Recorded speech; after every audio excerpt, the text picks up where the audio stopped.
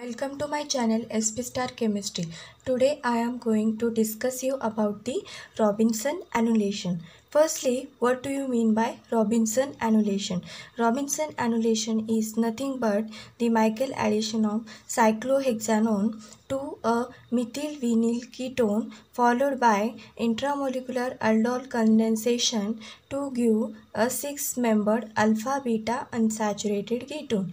This is the uh, cyclohexanone and this is the methyl vinyl ketone and in, in the basic condition it undergoes Michael addition followed by the intramolecular aldol condensation to give a alpha beta unsaturated ketone. We will discuss about the mechanism of the Robinson annulation. When this carbonyl compound is treated with the base, the base will remove this most acidic proton as it can conjugate with the carbonyl group and formation of enolate takes place. In the next step, this enolate is a soft in nature and therefore it attacks on this methyl vinyl ketone in conjugate manner. And we get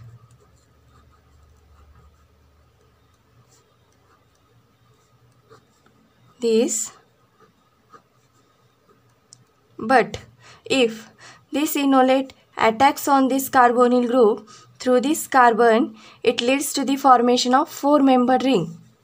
And it is not stable therefore this enolate undergoes isomerization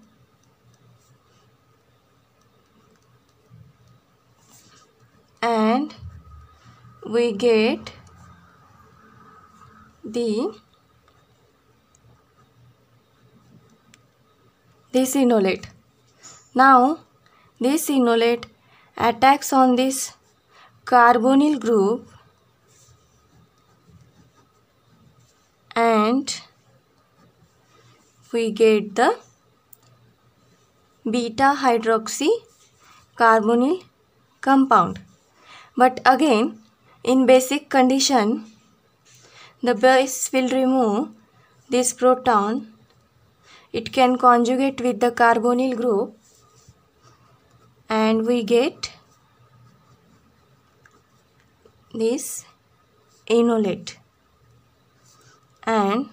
Now through E1CB mechanism the hydroxyl group leaves and we get the most stable alpha beta unsaturated carbonyl compound. Now in this reaction firstly in basic condition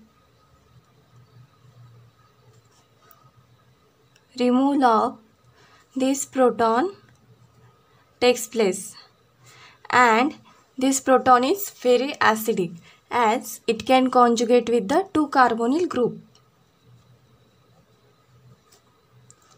And we get this enolate.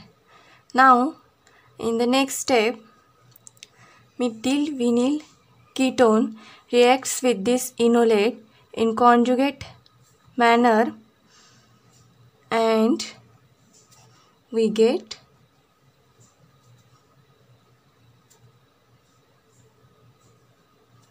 this.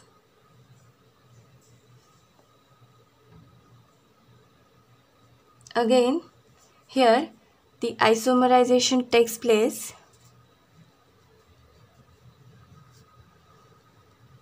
and we get this enolate. Now, again, this enolate attacks on this carbonyl group and formation of this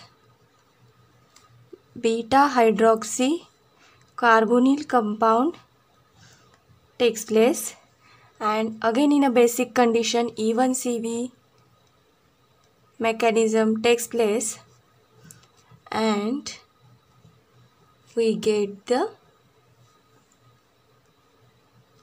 alpha beta unsaturated system. If you find the content is good please do like share and subscribe to my channel. Thank you for watching video